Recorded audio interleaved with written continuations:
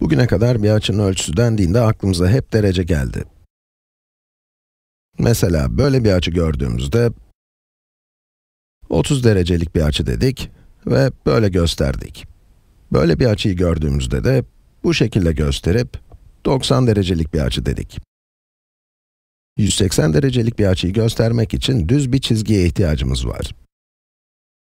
Şunları da düzeltelim. 360 derecelik bir açı için ise bir tur atıp başladığımız noktaya geri dönmemiz gerekir. Mesela olimpiyatlarda seyretmiş olabilirsiniz, buz pateni yapanlar için 360 derece döndü derler. Bu, bir tam tur demek. Ya da kaykaycılar kullanır 360 dereceyi. Evet, derece ile ilgili bilmeniz gereken bir şey daha var. Derece bizim yarattığımız, yani insanların yarattığı bir kavramdır. Ve bilmeniz gereken daha da önemli bir şey şu, tek açı ölçüsü derece değildir. Eğer konu hakkında düşünecek olursanız, tam turluk bir dönüşe neden 360 derece dendiğini merak etmiş olabilirsiniz. Bu konuda bazı teoriler var, şimdi kısaca üzerlerinden bir geçelim. Evet, tam turluk bir dönüşe neden 360 derece diyoruz? Teorilerden biri eski takvimlerden geliyor. Şu anki takvimlerde buna oldukça yakın ama eski takvimlerde bir sene 360 gündü. Eski astronomlar gök cisimlerinin her gün 1 bölü 360'lık bir mesafe kat ettiğini gözlemlemişlerdi. Bir başka teori ise ikizkenar üçgenleri çok seven Babililerden geliyor. Babiller 60 tabanlı bir sayı sistemi kullanıyorlardı. Yani sayıları yazmak için kullandıkları 60 tane sembolleri vardı.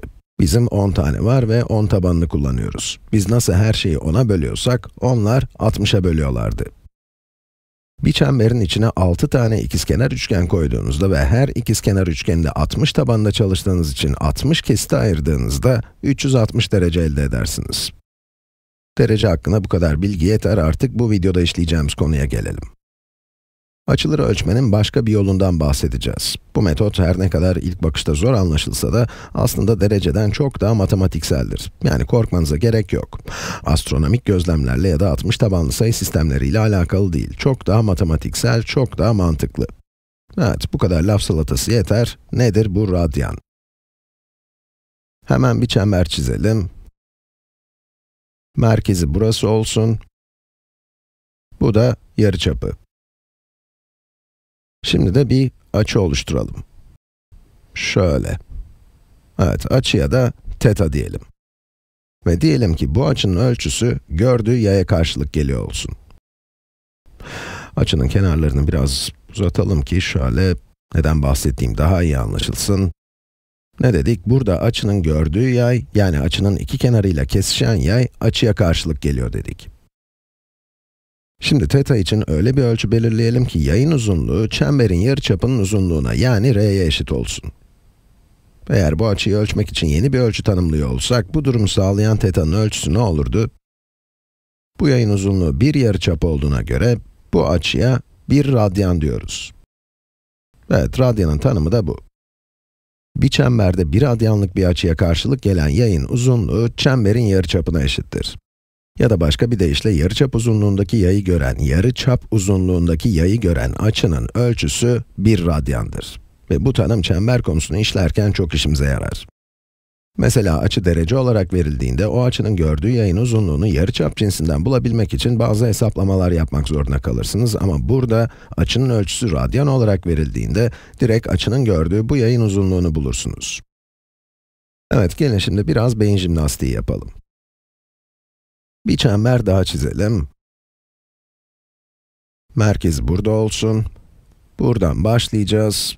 Evet, buradan başlayıp, buraya gelirsem bu açının ölçüsü kaç radyan olur? Yarıçap cinsinden düşüneceğiz. 360 derecelik çemberin merkezi etrafında tam bir tur dönen bu açı kaç radyandır? Kaç radyan olur? Evet, buradaki tanıma bakarak bu soruya nasıl cevap verirsiniz? Az önceki gibi açının gördüğü yayı düşünelim. Bu yayın uzunluğu çemberin çevresine eşit değil mi? Bakın bu yaydan yani çemberin çevresinden bahsediyoruz. Peki bir çemberin çevresini yarıçap cinsinden nasıl ifade ederiz? Ya da şöyle sorayım, bir çemberin çevresi kaç yarıçap uzunluğundadır? Kaç yarıçap eder? Burası r. Çevre kaç r olur? Bu sorunun cevabını biliyoruz öyle değil mi? 2 pi r. O zaman bu açının ölçüsü kaç r'dir? 2 pi r büyük R 2 pi çarpı r. Kısacası bu açıya x dersek, x 2 pi radyandır. Ve gördüğü yayın uzunluğu da 2 pi r'dir. r'yi yani yarıçapı bir ünite olarak düşünün, bir birim olarak düşünün. Çemberin çevresi yani yayın uzunluğu 2 pi r'dir. Radyanın tanımını yaptığımıza göre şimdi de dereceyi radyana, radyanı dereceye nasıl çevirebiliriz ona bakalım. Bu çemberde bu açının yani tam tur dönen açının ölçüsü 2 pi radyandı. Bu çemberde ise aynı açı 360 dereceydi. Sadeleştirmek için iki tarafı da 2'ye bölebiliriz. Bu durumda pi radyan 180 derece olur. Dediğim gibi ister derece yazın, ister küçük daireyi kullanın, fark etmez. Burada 180 derecelik bir açı çizmiştik. Bunun etrafına bir çember koyarsak, açının gördüğü yayın uzunluğu, çevrenin yarısına eşit olur. Çevrenin yarısı da pi çarpı r'dir. O zaman bu açının ölçüsü de pi olur. Evet, bunu öğrendiğimize göre artık dereceyi radyana, radyanı da dereceye kolaylıkla çevirebiliriz, değil mi? Mesela 1 radyan kaç derece eder? İki tarafı da pi'ye bölelim. Sol tarafta 1 radyan kaldı. 1 radyan eşittir.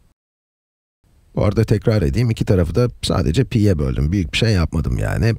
Evet, solda 1 radyan kaldı. Sağda da 180 bölü pi derece. O halde 1 radyan 180 bölü pi dereceymiş. Şahane. Peki acaba 1 derece kaç radyan eder? Şunu bir daha yazalım. Pi radyan eşittir 180 derece. Bir dereceyi bulmak için iki tarafı da 180'e böleriz. Yani pi bölü 180 radyan 1 dereceye eşittir.